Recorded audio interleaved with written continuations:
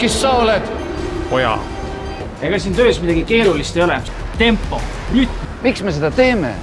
noh, me oleme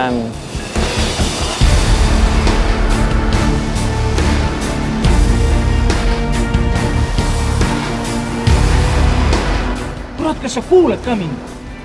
armastus on igavene muteerumine. tule siia.